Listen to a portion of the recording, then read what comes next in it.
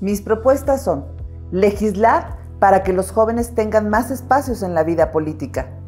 Quiero legislar para generar políticas públicas eficientes para erradicar la violencia en contra de las mujeres, así como construir una red con casas de seguridad en cada municipio del estado, donde se les suministre comida, atención médica, atención psicológica y aprendizaje para el autoempleo.